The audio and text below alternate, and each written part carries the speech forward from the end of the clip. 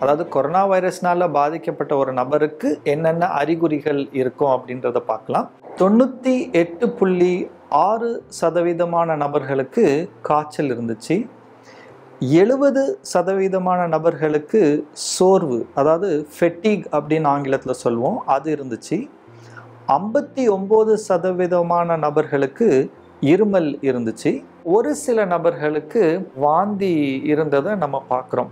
American academy of ophthalmology அவங்க என்ன சொல்கிறாங்கன்னா இந்த கொரோனா வைரஸ் நோய் கோவிட் நைன்டீனால் பாதிக்கப்பட்ட ஒரு சில நபர்களுக்கு கண் இன்ஃபெக்ஷன் இருந்ததை அவங்க பார்த்தாங்க. அது மூலமாகவும் இந்த நோய் பரவலாம் அப்படின்னு ஒரு தகவல். சவுத் கொரியாவில் வந்து ஒரு ஆராய்ச்சியில் என்ன கண்டுபிடிச்சாங்கன்னா கிட்டத்தட்ட இந்த கொரோனா வைரஸ் பாசிட்டிவாக வந்த பேஷண்ட் மத்தியில் முப்பது சதவீதமான அந்த பேஷண்ட்களுக்கு வாசனை அறியக்கூடிய அந்த தன்மை இல்லாமல் இருந்ததை அவங்க பார்த்தாங்க. இந்த கொரோனா வைரஸ்னால பாதிக்கப்படக்கூடிய நபர்களில் எண்பது சதவீதமான நபர்களுக்கு எந்த ஒரு பிரச்சனையும் பெரிய பிரச்சனை வருவதில்லை. அவங்களுக்கு வந்து சாதாரண ஒரு சளி காய்ச்சலோட அது வந்து அப்படி போயிடுது ஆனால் இருபது சதவீதமான நபர்களுக்கு மருத்துவமனை சிகிச்சை வந்து தேவைப்படுது. இதில் வந்து ஒரு பெரிய சதவீதமான நபர்களுக்கு தீவிர சிகிச்சையும் தேவைப்படுது.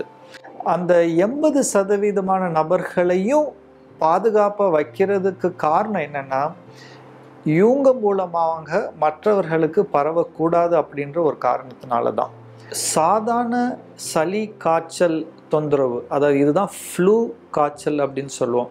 இந்த பிரச்சனைக்கும் இப்போ வந்திருக்கக்கூடிய இந்த கோவிட் நைன்டீன் கொரோனா வைரஸ் நோய்க்கும் உள்ள வித்தியாசம் என்ன அப்படின்னு பார்ப்போம்.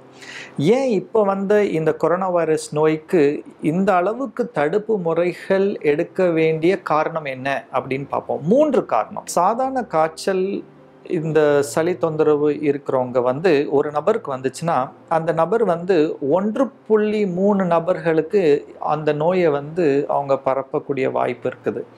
ஆனால் அந்த கொரோனா வைரஸ்னால பாதிக்கப்படுறவங்க வந்து அவங்க கிட்டத்தட்ட ரெண்டு புள்ளி அஞ்சு நபர்களுக்கு பரப்பக்கூடிய வாய்ப்பு இருக்குது. பாயிண்ட் நம்பர் டூ என்னன்னா இந்த சாதாரண காய்ச்சலுக்கு வந்து பாதிக்கப்பட்ட நபர்களில் ரெண்டு சதவீதமான நபர்களுக்கு தான் மருத்துவமனை சிகிச்சை தேவைப்படுது. ஆனால் இந்த கொரோனா வைரஸ்னால் பாதிக்கப்படுறவங்களுக்கு கிட்டத்தட்ட பத்தொம்போது சதவீதமான நபர்களுக்கு மருத்துவமனை சிகிச்சை தேவைப்படுது. இந்த பத்தொம்போது சதவீதத்தில் வந்து அநேகருக்கு தீவிர சிகிச்சை வந்து தேவைப்படக்கூடிய ஒரு சூழ்நிலை இருக்கிறத நம்ம பார்க்குறோம். அது மட்டும் இல்லாமல் ஃப்ளூ காய்ச்சல் பாதித்து உயிர் இழக்கக்கூடிய நபர்களுடைய எண்ணிக்கை வந்து ஜீரோ புள்ளி ஒரு சதவீதத்துக்கு கீழே. ஆனால் கோவிட் நைன்டீன் கொரோனா வைரஸ் நோயினால் பாதித்து உயிரிழக்கக்கூடிய சதவீதம் மூன்று புள்ளி நாலு சதவீதம் வரைக்கும் இருக்குன்னு கணக்கெடுக்கப்பட்டிருக்கு. இந்த நோய் வந்து இவ்வளோ வீரியம் அதிகம் உள்ள நோயாக இருக்கிறதுனால தான் தடுப்பு முறைகள் அதிகமாக எடுக்க வேண்டிய ஒரு சூழ்நிலை ஏற்படுது. இந்த இறந்து போகக்கூடிய மக்கள் பார்த்திங்கன்னா அவங்களுக்கு ஏற்கனவே வேறு சில வியாதிகள் இருக்கிறதையும் நம்ம பார்க்குறோம் சர்க்கரை நோய் ப்ரெஷர் நோய் இருதய நோய் கிட்னி நோய் இல்லை கேன்சர் இவங்க வந்து கொரோனா நோயினால் பாதிக்கப்பட்டாங்கன்னா அவங்க இறந்து போகக்கூடிய வாய்ப்பு அதிகமாக இருக்குன்னு சொல்லிட்டு ஆராய்ச்சி நமக்கு சொல்லுது. அதாவது வயது அதிகமாக இருக்கிறவங்க இந்த நோயினால் பாதிக்கப்பட்டால் அவர்கள் இறந்து போகிறதுக்கு வாய்ப்பு அதிகமாக இருக்குது அதனால தான் நம்ம வீட்டில் இருக்கக்கூட வயதானவங்களை வந்து இந்த நோய் வராமல் பாதுகாக்கிறது ரொம்ப முக்கியமான ஒரு காரியமாக அமையுது.